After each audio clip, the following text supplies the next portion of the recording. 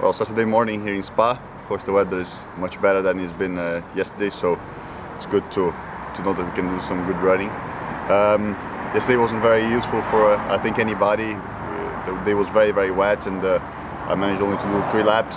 So I think we need to do a lot of work today to make sure that qualifying the race are are uh, are going to be good, but lots of surprises I think for everybody. It's not very easy when everybody's trying a different a different program. So let's see what we can do.